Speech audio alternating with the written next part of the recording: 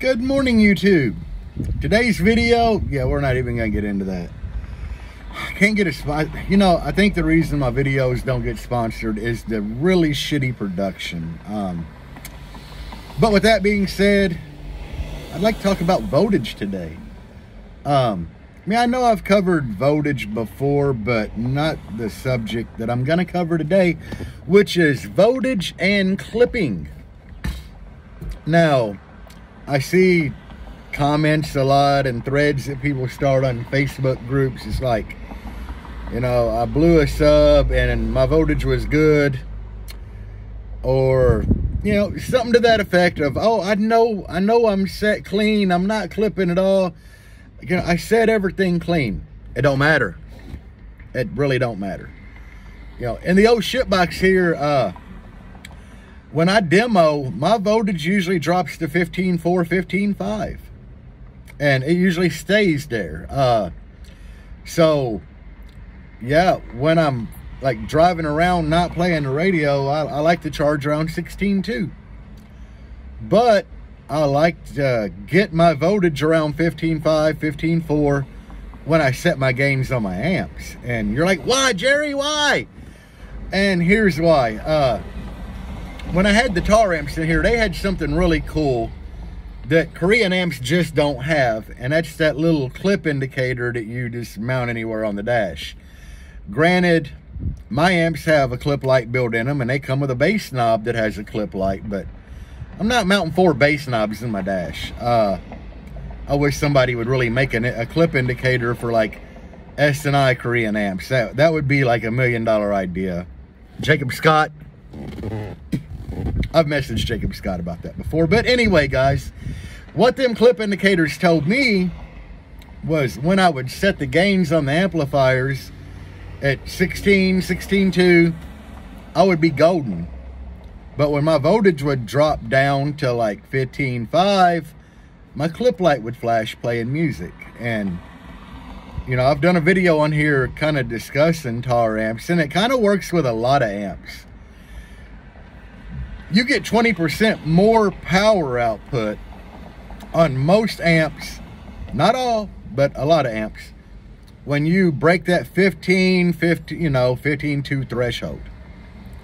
Uh, when I did testing in my wife's Ford Edge on stock charging, 14, you know, 14.4, I was getting about 84 amps out of a Taramp 78K before the clip light would hit when I changed that same car to C-Max and started charging at 16.2, I could get like 105, 107 out of the same amp.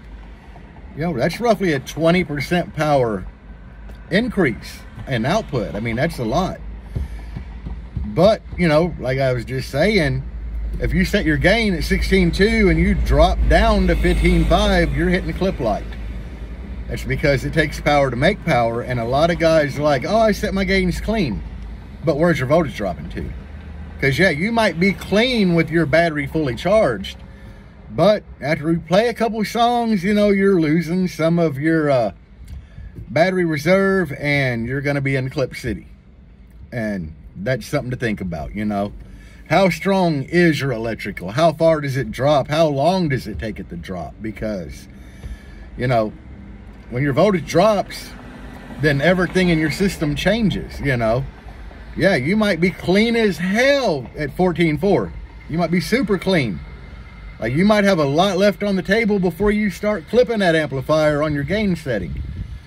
But when you're dropping down on the 12s, then you're in clip city, you know. Uh, so voltage drop plays a big part in clipping you know, clipping is just a distortion level. Like when you're pushing your amplifier, when it's trying to make more power than it can pay, make with the power that's going into it.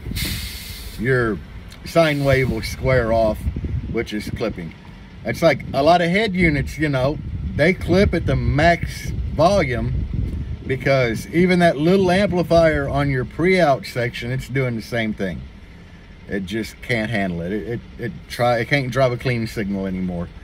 And you know everything from your head unit to your amplifiers can all cause clipping. Um, even when they do it with music, you know, like bass boosted music's just full of clip signal.